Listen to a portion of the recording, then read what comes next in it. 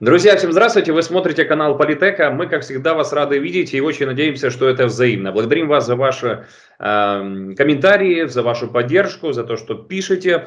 Ну и также, друзья, на ваши вопросы наши уважаемые эксперты готовы давать ответы. И сегодня нам в этом поможет прекрасный э, гость Константин Бондаренко с нами на связи. Константин Петрович, здравствуйте. Здравствуйте.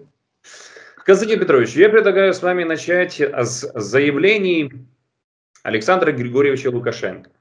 Он сказал о том, что образовался некий Цуцванг. Ни они, украинцы, ни они, россияне. А, признал, что продвижение оккупанта все-таки происходит медленное. Ну и призвал Запад сыграть ничью с Россией, иначе Украина прекратит свое существование. Также еще заявил, что формула Зеленского нереальна, Россия не уйдет с занятых территорий. Никто сегодня не хочет воевать, поэтому надо идти к миру. Я знаю настрой, э, настроение военных украинских, российских, им уже эта война надоела.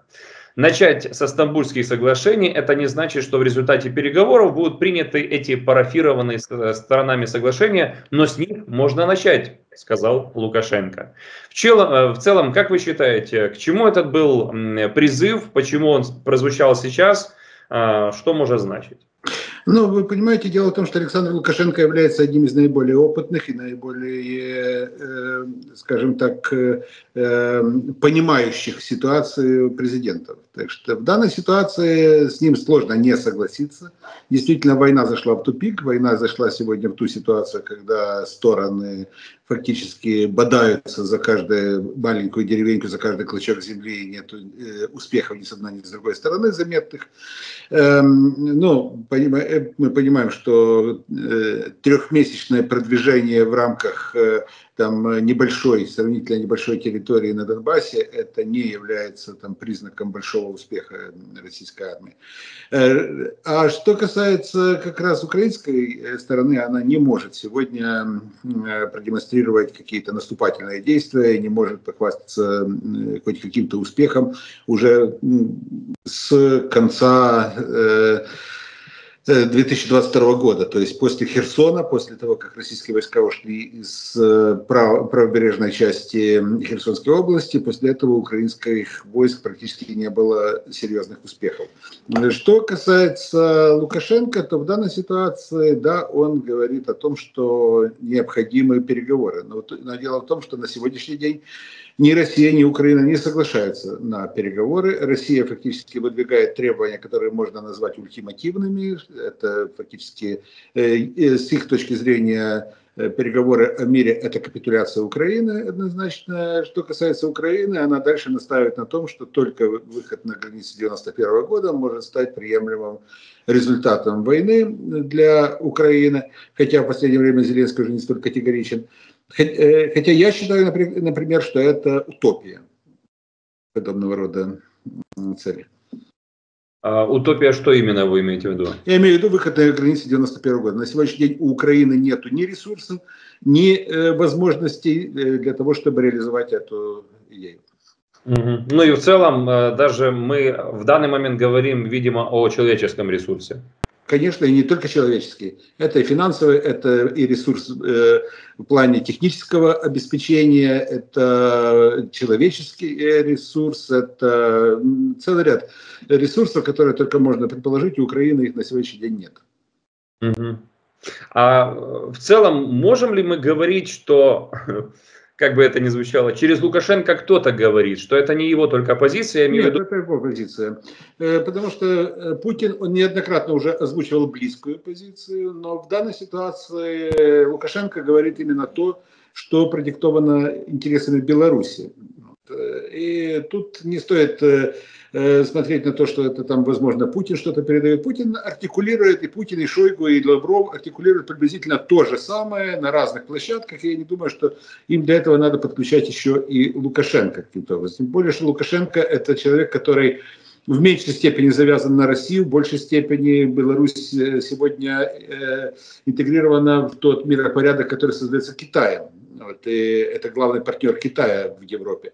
Э, ну и поэтому я думаю, что все-таки здесь говорит именно многолетний опыт Александра Григорьевича, а не желание там, России, там, условно, Александра Григорьевича, озвучьте, пожалуйста, тезис. А вы знаете, я даже не сразу, э, скажем так, на Кремль подумал, поскольку Лукашенко сказал, что для американцев Китай и Россия это еще не все противники и враги. Почему-то мне э, здесь уловились такие китайские нотки. Э, Беларусь на протяжении длительного времени сотрудничает с Китаем даже намного более тесно в экономическом секторе экономических отношений, чем с Россией, возможно. С Россией больше политически, вот, большое количество совместных заявлений, проектов, э, озвученных, большое количество встреч Лукашенко и Путина. А вот что касается экономики, проникновения капиталов, влияния на политику Беларуси, здесь необходимо все-таки обратить внимание на Китай – Э, и то, как принимает Лукашенко в Пекине, когда он туда ездит, его принимают как очень дорогого гостя, а иногда по разряду даже выше, чем, например, президента России принимали Лукашенко. Это не мной замечено, это заметили российские эксперты, которые сравнивали китайский, э, китайский церемониал, китайский протокол, когда прилетал Путин, а потом прилетал Лукашенко. И Лукашенко э, встречали чуть ли не как родного. Это да. Э, ну, вы знаете, кстати, из смешного из заявления Лукашенко сказал, что пообнимался с ядерной боеголовкой стратегического назначения. Э, но тут есть и объятия все-таки произошли, но, видимо, с Атакамс он обниматься не очень желает, поскольку сказал, что Атакамс очень опасное оружие, так он прокомментировал предоставление США военной помощи Украине, но в целом, знаете, вот я так смотрю по сообщениям, как говорится, как-то кучно пошло после я бы даже так сказал, как- как-то кучно пошла эскалация после провала Стамбула-2. Ну, дело в том, что я бы не сказал, что он уже полностью провален, он поставлен на паузу. А что касается, что касается, э, да, сейчас э, эскалация пошла более активно, более активно, и в этом даже вина, возможно, не Украины, в этом вина не Соединенных Штатов, а здесь больше игра э, Британии, которая хотела бы оставить за собой э, влияние на э, эту ситуацию. Британия считает себя главным продюсером этой войны, ну так почему бы ей э, сейчас не добиваться эскалации на фронте? Угу. Ну, кстати, по поводу эскалации. Константин Петрович, как думаете, куда пойдут атакамс? Поскольку многие вас э, как бы так размышляли, Украина сможет установить полный огневой контроль над э, оккупированной э, Россией Крымом? Вы понимаете, что вопрос здесь даже никуда полетят или никуда пойдут атакамсы а вопрос ответа, вопрос бумеранга. Куда да. прилетит бумеранг?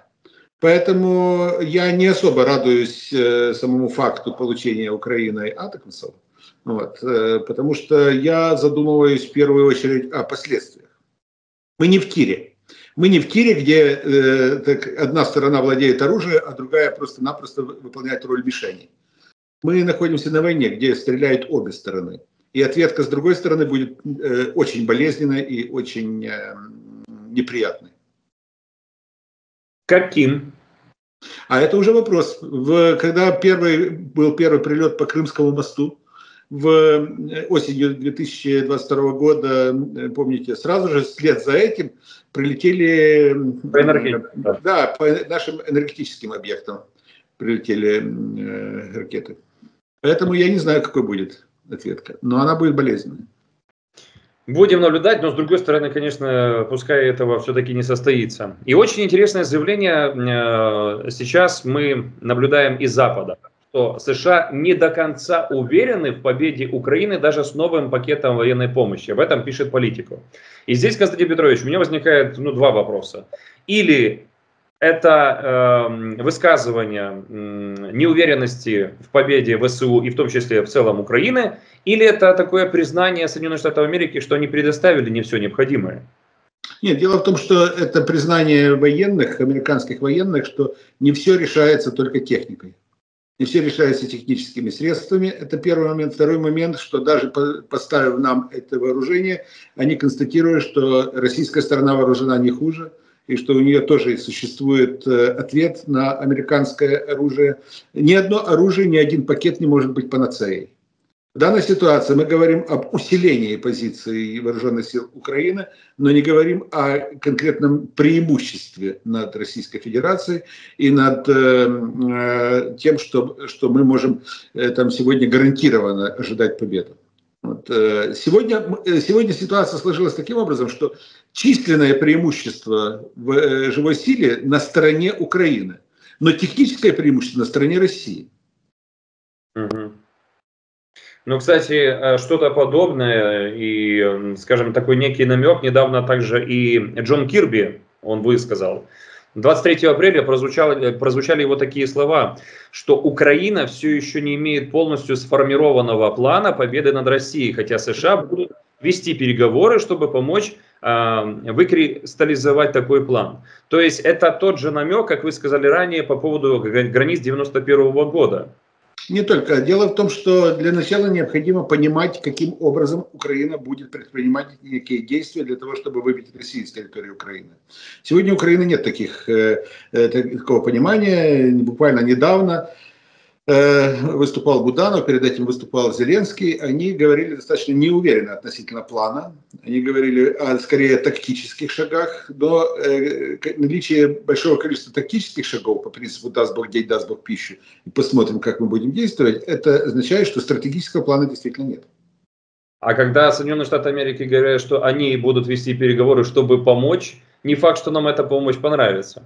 Конечно, дело в том, что они же будут вести переговоры не только о том, как помочь. Соединенные Штаты, они договариваются по разным параметрам. Если им завтра вдруг социологи принесут социологические исследования, которые покажут, что Байдену для того, чтобы гарантированно победить, необходимо закончить войну в Украине, э, так, любыми средствами закончить, то будьте э, уверены, что они пойдут на то, чтобы сдать Украину.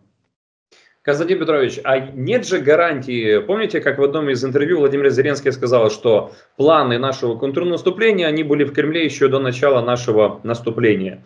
А вот когда мы будем с Соединенными Штатами Америки и с нашими партнерами писать этот новый план, а, что он снова не окажется где-то там, где не нужно. Извините но, извините, но планы нашего контрнаступления были во всех эфирах, во всех, э, на всех сайтах, во всех социальных сетях у нас говорили полгода о планах наступления, о конкретных направлениях этого наступления, о вариантах, что вот можем пойти сюда, а можем пойти сюда, но вот третьего не дано, вот, о количестве войск, которые необходимо задействовать, о том, что вот есть линия Суровикина, ее необходимо прорвать для того, чтобы двинуться на Мелитополь и отрезать э, э, там э, э Крым. Э, то есть это все, это же все обсуждалось. Но понятное дело, что только ленивый э, не собрал бы эту всю информацию, и не, не собрал бы воедино и не увидел бы какой-то замысел. Было бы еще понятно, если бы была некая игра э, вот, э, на то, чтобы обмануть противника, и условно э, вот он ожидает, что мы будем бить на Мелитополь, направление Мелитополя, а мы собираемся ударить в совершенно другом направлении, например, на Белгород, условно. Это я условно говорю. Ну, вот. Но дело в том, что контрнаступление шло именно по тому направлению, по тем параметрам, которые были заявлены заранее. Угу. Поэтому мы снова придерживаем, должны придерживаться этого известного высказывания. Лучше что-то жевать, нежели бывает Конечно. Конечно, нечего тут уже на американцев э, там э, катить бочку, потому что на самом деле э, надо посмотреть, как у нас наше информпространство было на протяжении действительно более чем полугода заполнено информацией о контрнаступлении. У нас же все ждали контрнаступления. Помните, был такой советский мультфильм «Ограбление по». В частности, там была такая серия «Ограбление по-итальянски», когда главный герой Марио собирается грабить банк. Он всем сообщает о том, что он идет грабить банк, его уже ждут в банке, ему уже вручают там деньги в банке и так далее. То есть все ждут, все живут ожиданием, когда же Марио пойдет грабить банк. Вот приблизительно так у нас было с контрнаступлением. Да, друзья, поэтому будьте осторожнее и в ваших высказываниях, и в целом той информации, которая поступает. А, ну что же, а как вы относитесь к такой версии? Недавно ее повторил также и азербайджанский военный Э, аналитик, Рустам Заде, я думаю, вы знаете хорошо такого. И он говорит, что если украинская армия не покажет результат до осени, Украину будут принуждать к миру. Так и будет. Потому что первый раз, первый карбланш нам дали в 23 году. Мы провалили наступление, провалили контрнаступление. Второй нам дают сейчас фактически э, удержать наступление российских войск и перейти в э, перейти э, в наступление. Хотя нам дали оборонительное оружие, нам практически американцы не выделяют э, средства для э, закупки э, наступательного оружия. Но нам наступательное оружие на протяжении прошлого года и начала этого года передавали европейские государства. Ну вот, э, наступательного оружия тоже есть достаточно в Украине, поэтому э, очевидно, что перед Украиной поставлена задача. Первое – удержать линию фронта. Второе, там, выстоять и организовать оборону, организовать противовоздушную, в первую очередь, оборону и так далее. Вот. А третье, это перейти в наступление конкретно. Угу.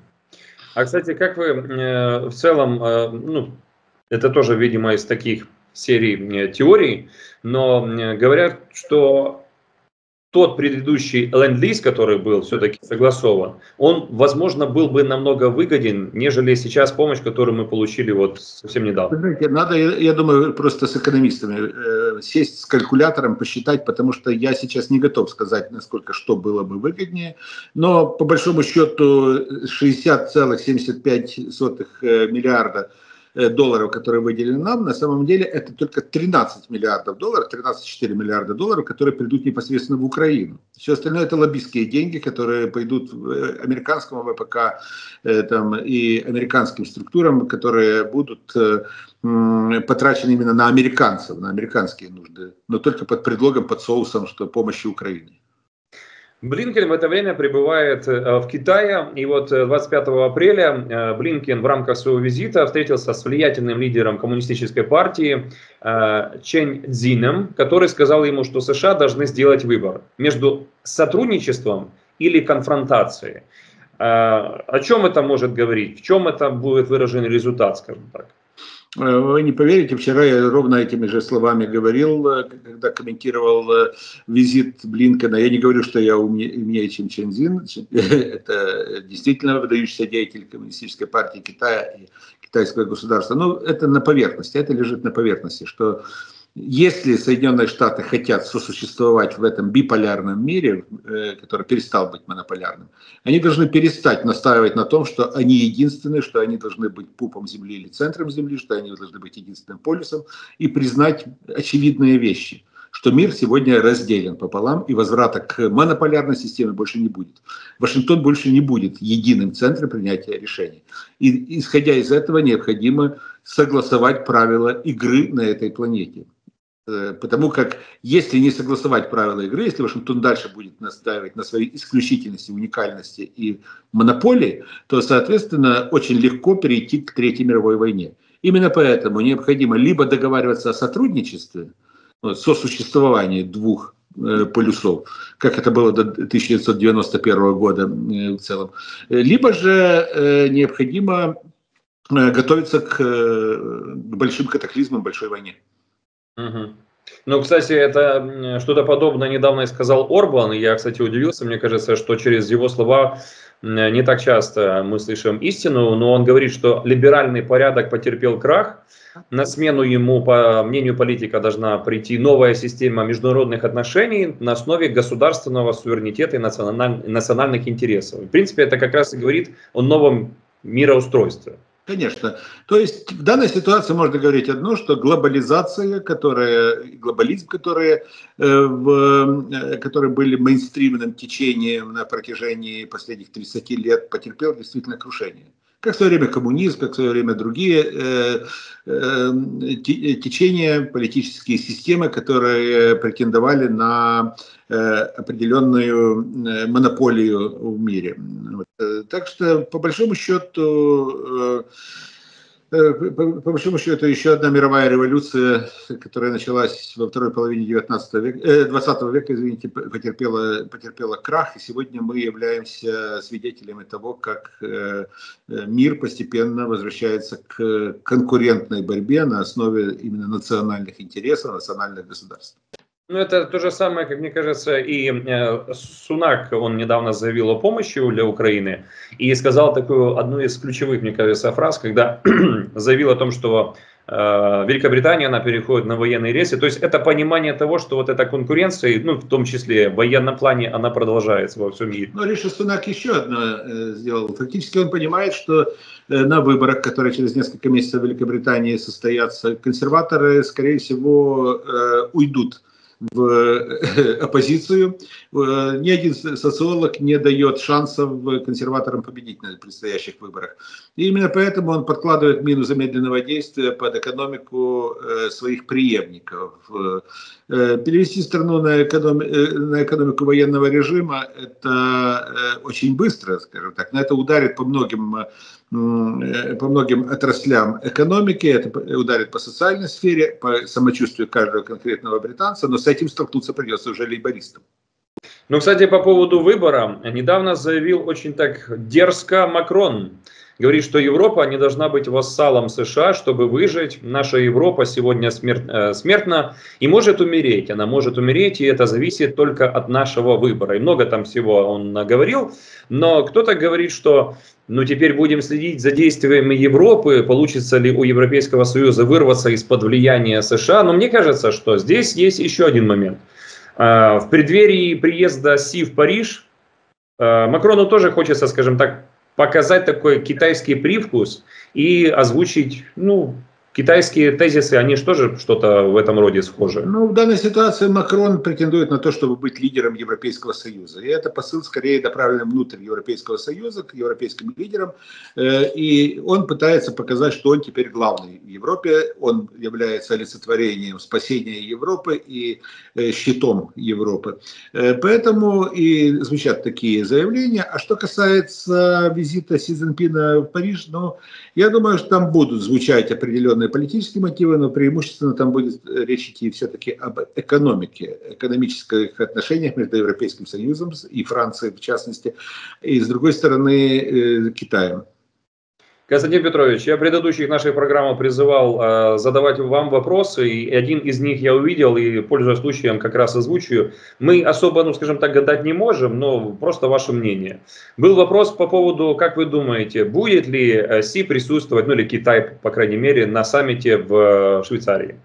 На сегодняшний день это решение не принято, и э, учитывая то, что китайская делегация собралась ехать на э, э, саммит мира, который будет проходить в Австрии в июле. Вот, это совершенно другое, другое действие и так далее. Я думаю, что, э, но без Си Цзиньпина это будет другой там уровень. Вот, я думаю, что они вряд ли всерьез рассматривают то, что будет происходить в Швейцарии. Позиция Китая очень проста. Вот. Зачем собираться для того, чтобы обсуждать только один план, чтобы обсуждать поддержку одной стороны? Если вы готовите мирный э, план, если вы готовите мирную конференцию, то на ней должны присутствовать обе стороны. А не так, что давайте соберемся, чтобы показать, что мы поддерживаем Украину. Вот. Э, поэтому я думаю, что сейчас в Китае э, этот вопрос будет еще обсуждаться, но все будет зависеть от э, результатов не только поездки Си Цзиньпина в Европу, но и встречи Си Цзиньпина с Путиным вот она будет достаточно важна. Хотя я на 99,9% уверен, что Китай не будет принимать участие в, э, в этом саммите мира. Иначе это было бы э, таким себе явным демаршем Китая по отношению к своим союзникам, в частности России. По поводу Европы. Недавно было интересное такое решение. Европарламент призвал европейские власти признать мартовские выборы президента РФ нелегитимными и недемократическими. За соответствующую резолюцию проголосовали 493 э, евродепутата. Они призывают наказать организаторов голосования на оккупированных территориях Украины, свести к минимуму отношения с Путиным только до тем мира, гуманитарных и правозащитных вопросов. И вот, Константин Петрович, подскажите, а где же грань для европолитика, э, где Путин это серийный убийца, вор детей и террорист в международном розыске, а где вопросы мира, гуманитарных, э, скажем так, тоже вопросов и так далее? Ну, смотрите, давайте говорить откровенно. Вот, было два, две резолюции. Первая резолюция, которую Европарламент принял, вторая резолюция, которую принял, приняла Парламентская ассамблея Совета Европы. То есть две резолюции. Ни Европарламент, ни Парламентская ассамблея Совета Европы, тем более, не являются теми структурами, чьи решения, чьи резолюции являются обязательными к выполнению. Вот. Это скорее себе декларация позиции, а не более. Эм, ну, нет более бестолковой и бесполезной структуры, чем ПАСЕ. Вот, вот нет более. Ну, еще может быть ОБСЕ. Вот, еще более бестолковая. Э, потому что, ну, реально они не могут повлиять ни на что. Они принимают резолюции, эти резолюции зачитываются, все покивали головой и сказали, ну хорошо, разошлись. Но императивных э, решений вслед за принятием той или иной резолюции не последует, потому что ну, нет механизма их воплощения. Эм, решения в Евросоюзе принимаются либо национальными государствами, либо же принимаются Еврокомиссией. Вот. То есть каждое государство определяется в зависимости от своей, своих национальных интересов. Э, главное, чтобы это не противоречило позициям Евросоюза. Второй момент – это каждый, каждый, э, еврокомиссары которые отвечают за ту или иную э, сферу деятельности, вот у них больше полномочий, больше возможностей для того, чтобы реально повлиять на ситуацию, чем у Европарламента в целом. Так что я бы э, вот именно подобного рода заявления ну, так, принимал бы к сведению и не более. Э, да, там интересные были высказывания о том, что давайте помогать российской оппозиции, ну такое там и по поводу виз, но э, вот как раз в этом контексте я хочу вас спросить и об украинской политике. Э, я его назвал такой камин-аут Кулебы, поскольку, я напомню кратко, 23 апреля, с 23 апреля мужчинам мобилизационного возраста за границей приостановили предоставление консульских услуг. И вот э, сначала это появилось подпись Сибиги, потом «Зеркало недели» об этом рассказала, потом уже поднялся такой ажиотаж в социальных сетях, и на следующий день только Кулеба вышел, сказал, говорит, да, это было мое решение, я так считаю, это, это честно, говорит, что вот те, кто выехали там, сидят и отдыхают, а потом приходят к государству и требуют от этого государства услуг, что это неправильно. Как вы считаете, то, что произошло, чего таким способом пыталась добиться власть, добилась ли она этого, какие будут последствия? Понимаете ли, вопрос честно, справедливо и так далее, это вопрос субъективный. Вот ему так кажется, что это э, вот так будет честно. Но есть вопрос честно и справедливо, а есть вопрос законно. Вот. И в данной ситуации, поскольку он действовал незаконно, он дал моральное право каждому украинцу, который пострадает от этого решения, обращаться в суды, выигрывать суды, однозначно выигрывать суды, потому что тут просто двух э, разночтений быть не может.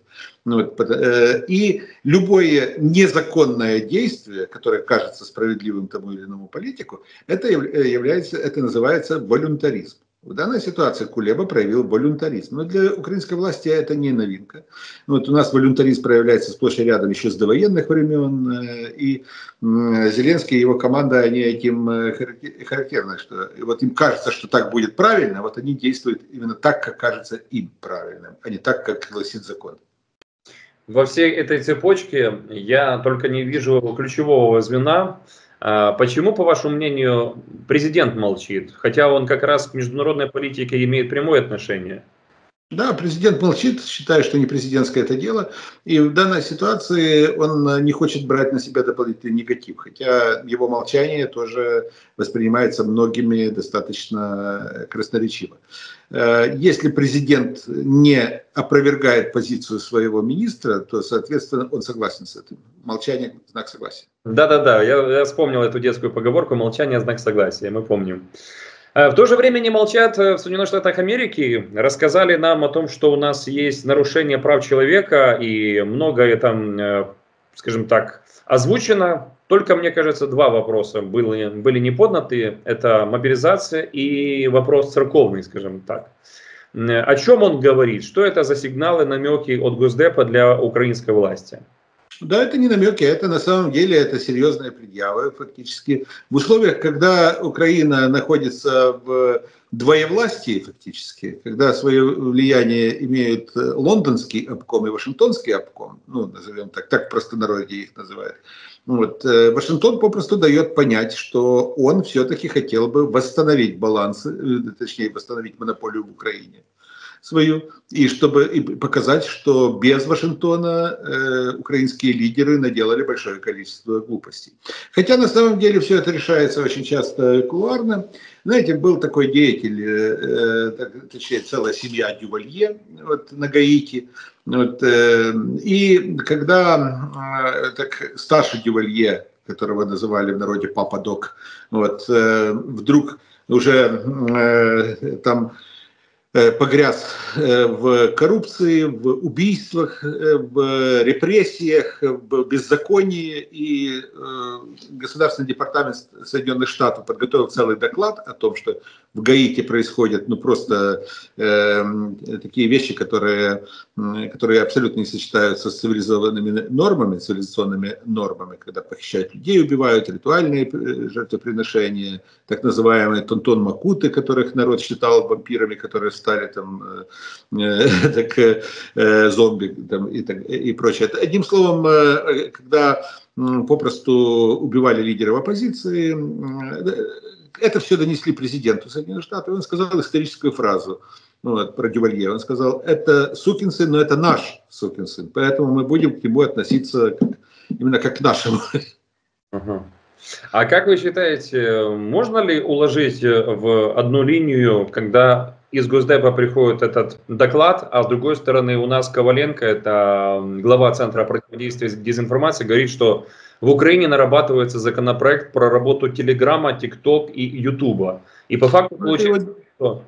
Извините, но это его работа. Я не знаком с э, господином Коваленко. Или, э, так, вот, э, ну, по крайней мере, я только слышу эту фамилию. Вот, э, ну, это, это, он же должен каким-то образом показать свою м, значимость. Вот. Э, то есть сам центр э, противодействия дезинформации должен показать, что они чем-то занимаются полезным. Как Институт национальной памяти постоянно что-то придумывает, как Институт украинского э, языка, который там постоянно меняет правописание у нас. То есть у нас существует большое количество текстов, которым постоянно необходимо доказывать свою э, свою э, нужность, что они не, зря едят, э, э, проедают э, государственные деньги. Вот в данной ситуации вот они решили бороться с э, телеграм-каналами, с YouTube-каналами. Я знаю, что некоторые YouTube-каналы уже закрыты, заблокированы на территории Украины.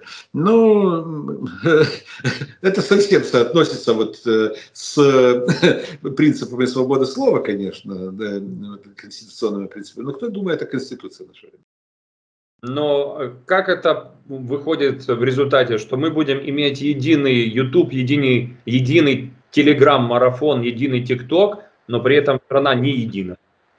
А, вот это а, у них такое понятие про единство страны.